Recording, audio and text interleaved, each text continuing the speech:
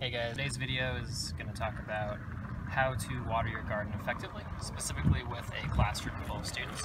So I wanted to introduce to you one of our favorite tools we use to do this. This is the upcycled watering can. This is a gallon or even a half gallon water or milk jug. Uh, what we do is we, we just poke some holes or drill some holes on the top here Make sure you have a few in the back as well to let air in as you pour, and that way students uh, won't have to crush this. Uh, water should come freely out. It's a good watering can. So when you come out to the garden with a classroom full of students, uh, as a teacher uh, or advisor, what your, uh, what your job is going to be is to spread the students out to water the entire garden evenly. You should be expecting to need 15 to 20 gallons of water. That's a good estimation. Uh, you're really going to know if you watered well by feeling the soil afterwards. We'll cover that in a second.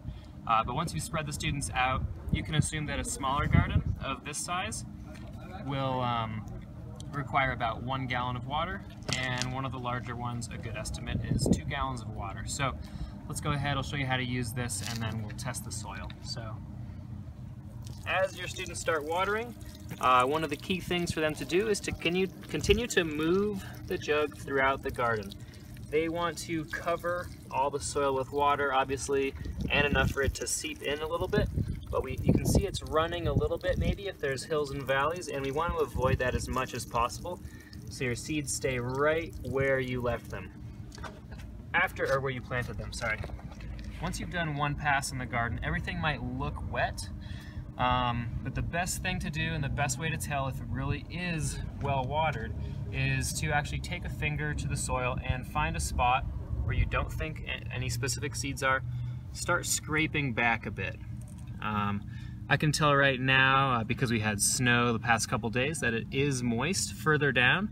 Um, but you should dig at least an inch to, to get a feel for this, and you'll be able to tell pretty quickly uh, if it is moist enough or if it needs more, uh, more watering.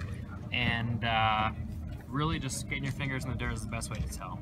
So best of luck and uh, have some fun with it. Thanks.